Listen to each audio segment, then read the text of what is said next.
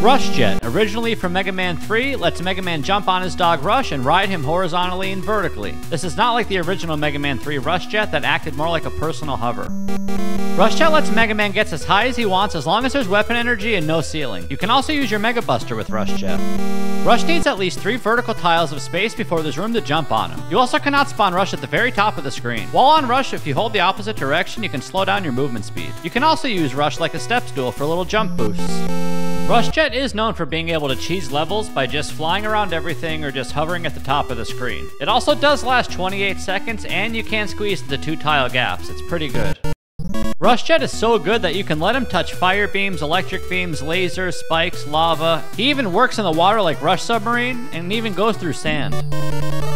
You can use Rush Jet with Rush Coil to do a fancy combo. You can also use Rush Jet like a magnet beam and slide through him as he's flying. Now that's a good doggy. Subscribe for more.